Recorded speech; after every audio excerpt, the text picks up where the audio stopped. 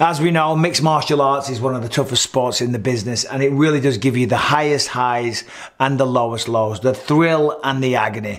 Uh, and this one, it's agony. Obviously, I wasn't in there tonight. I just watched the fight between Anthony Lionheart Smith taking on Magomed Ankalaev in what was had to be an unofficial number one contender matchup. You would think so. These are two guys that are top of the food chain and both clawing for a fight at the title.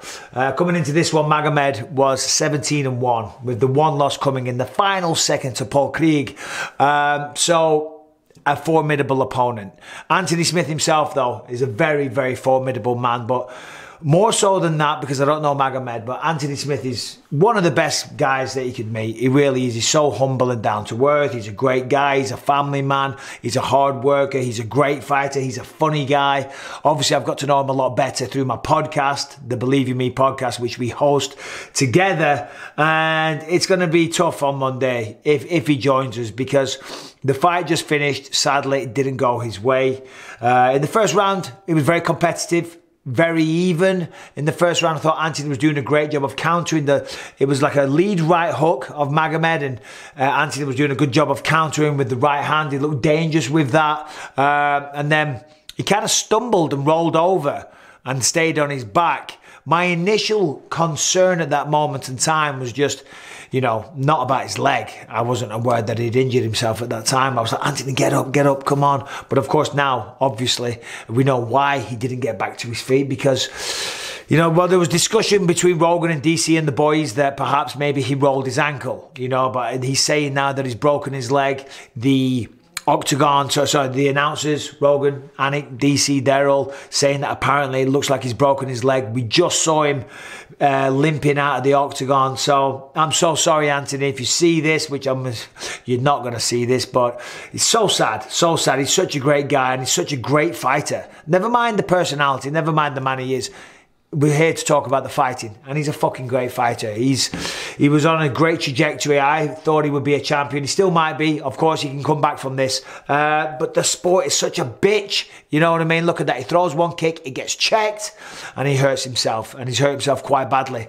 Uh, and it's hard to continue you know, in the fight when you've got such a debilitating injury like what he had. Second round, he went out there. It was a close round, the first one, but he spent a bit of time on his back, ate a few like little crappy low kicks. 10-9, Ankalaev. Second round, he goes out. I thought he looked really sharp again in round two. We went forward, throwing a lot of right hands, being way more aggressive, and then he went for a takedown. And I initially thought that might not have been the best idea. Of course, Magomed is a tremendously talented wrestler.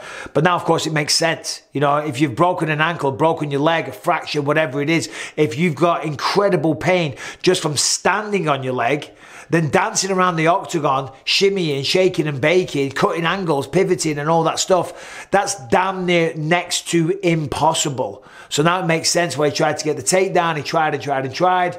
Obviously, uh, Magomed has great takedown defense. He tried to roll to his back, tried to sweep him and all that stuff. And uh, that was when Ankalaev got on top, landed some heavy, heavy shots. Uh, Anthony uh, ate some heavy shots, didn't look hurt, didn't bitch out. The referee stepped in, but I heard Anthony say, My legs broke, my legs broke. I'm not sure if that was the reason why the referee stopped it or if it was because of some of the punches. If it was because of the punches, that was an early stoppage, in my opinion. If it was because he heard Anthony say, My leg's broken, well, then a referee will stop the fight in that situation. So uh, it's a tough business. You know, I know Anthony put a hell of a lot of effort into that training camp, uh, went all over the place. As the commentators were saying, he was in North Carolina, he was in Aruba, he was went to all over the place. He left no stone unturned.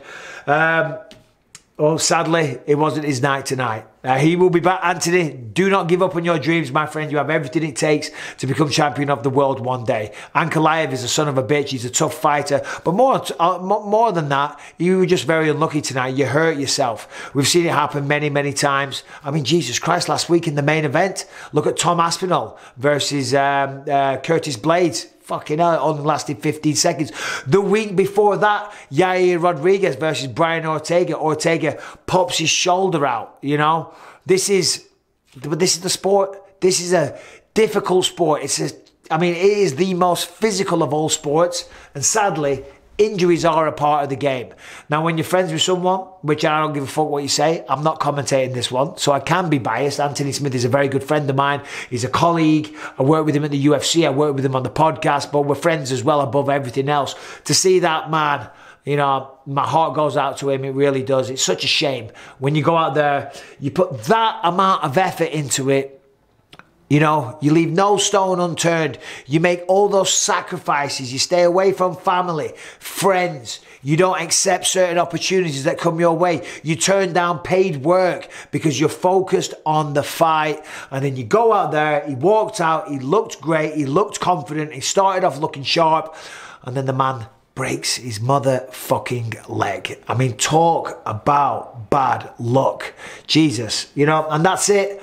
And that's partly, though, why this sport is so exciting.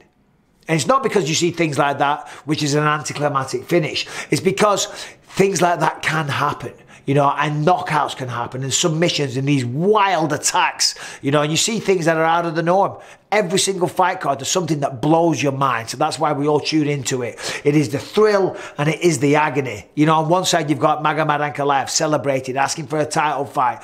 Often fighters on top of the cage, they're screaming, they're full of it, they're going wild, the adrenaline is surging. You're having the best time of your motherfucking life. There is no better feeling than winning a fight winning a fight in the UFC, winning a fight in the UFC in front of 20,000 people with millions watching worldwide, and you get the job done. You jump on that cage and you are victorious after all your hard work, your blood, sweat, and tears.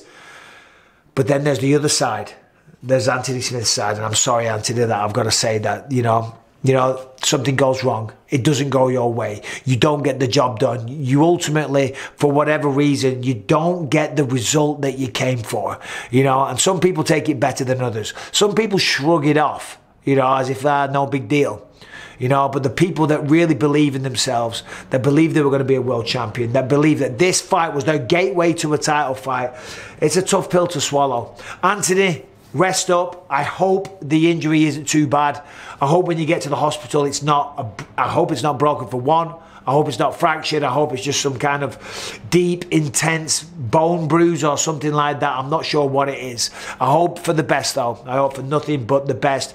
Don't give up, my friend. We all love watching you fight. You're an incredible fighter. You bring a lot of excitement. You've had some tremendous performances. You're truly a legend of the game. And I still believe that you could be champion of the world one day. I mean, look at me, shit. It took me a, long, long time. It took me until I was, what? I was in the UFC for 12 years. 12 years before I got a shot at the belt. Ups and downs, lost a lot of fights, got number one contender fights, lost them, crawled my way back up, lost that one. Granted, they're on TRT. Climbed my way back up, lost an eyeball, didn't give up, still lost some fights. You just got to keep going. If you give up on yourself, that's truly the end of the road. But if you continue to fight, if you continue to train, you continue to stay motivated, stay the course, and fight for what you can truly achieve and, and achieve your potential, then this is merely a bump in the road, my friend. Anyway, I was hoping that this was going to be a celebratory video for Anthony Smith, um, but it wasn't. That's about it. That's about it. Anyway, thanks for watching. I'm going to get back to the other fights. Take care. Bye bye.